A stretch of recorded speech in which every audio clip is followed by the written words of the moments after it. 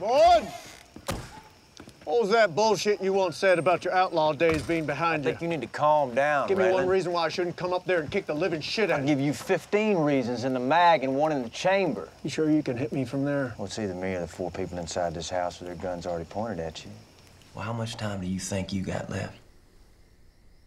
I thought I had till noon tomorrow. Well, what if I said it was right now?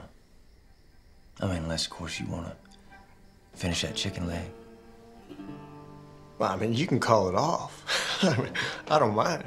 Oh, if you're to keep after me, Raylan, I figure we may as well just get her done.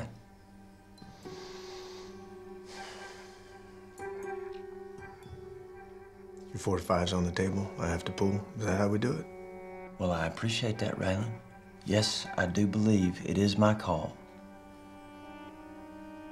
What are you packing? You'll pay to find that out. Oh, you got ice cold water running through your veins. Well, should we just do us a shot of Jim Beam, just for old time's sake? Ava, get us a shot of Jim. You want to know what Bowman said when he looked up and he saw me with his deer rifle? God damn, woman, you only shoot people when they're eating supper. He had his mouth full of sweet potato. He said, the hell you doing with that? Ava, put the gun down, please. You want to know what I said? I said, I'm gonna shoot you, dummy.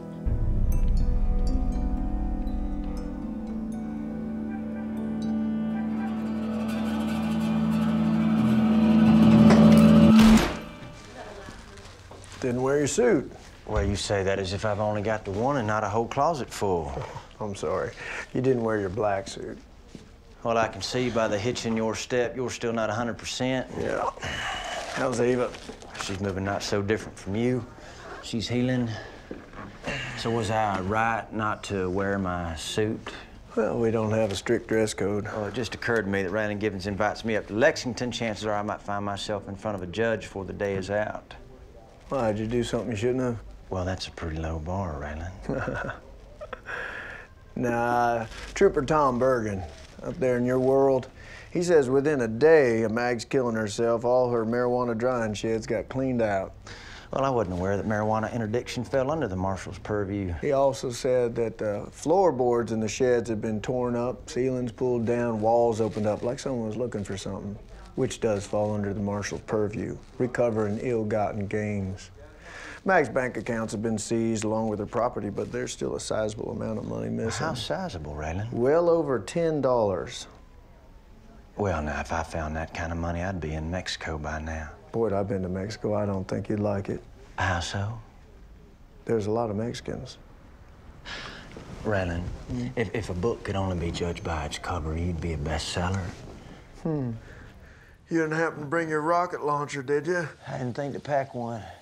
All we want is Raylan Givens. I'm Raylan Givens! No, I'm Raylan Givens. He trying to be funny. A little. We get Givens, the other two can walk. I ain't going anywhere. They killed my daddy. You came here to kill your daddy yourself. Well, that's different. How? You got to kill the two men who came after your daddy. You give me the same courtesy. Why don't we all just run? Well, someone's got to keep him here for the other two to have a chance. And if we all stay here, night comes, we're dead. Only one way this works. I'll stay then. Boyd, I'm asking you. Take Ava out of here. Why you want to kill me so bad, Raylan? You don't even know why. Boyd Crowder must die. That's just a lie you tell yourself wanting to win. You are the world conquering emperor of lies, the biggest reserved for yourself. Just say it, Raylan. I want to win! How about I want the money? Shit, you want to kill her, Boyd. You want to kill the woman who stole your money, shot you, and left you for dead. You don't know what's in my heart. What heart? You don't know what's in your own heart. You've given up everything you are so that you could murder me. I cross the line with my eyes wide open. Well, whose eyes you gonna see when you kill me, Raylan, your daddy's, Not anymore.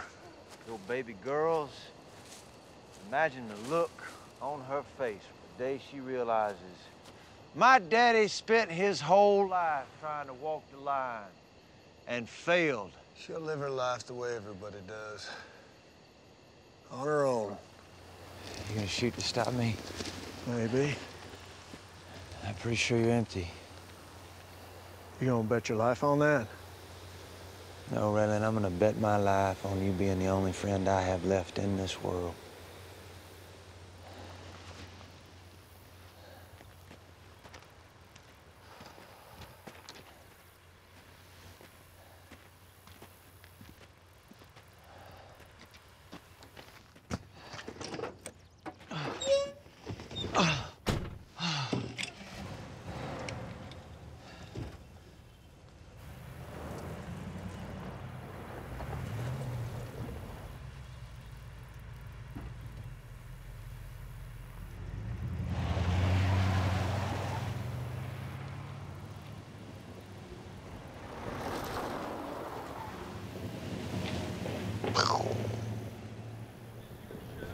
I'm sorry to keep you waiting, Raylan, but you know how these places can be. So many gates and sally ports and highly invasive searches. What brings you to my house? Oh, this is your house now.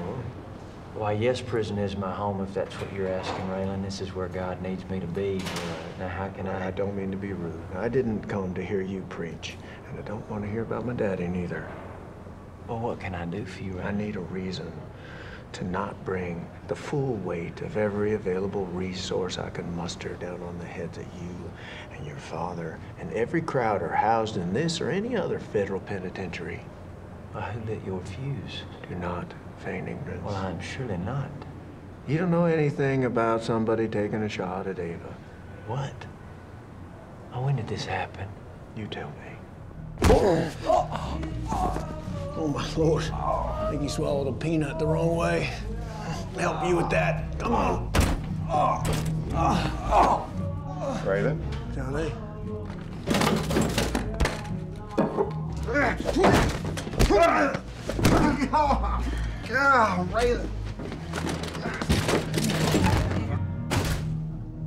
Figured I owed you that one for taking a poke at me at the marshal's office. Well, if I try to take this conversation vertical, can I expect more of the same? You can expect worse unless you start talking about Robert Quarles. And if I say that uh, you'll need to refresh my memory, What do you think?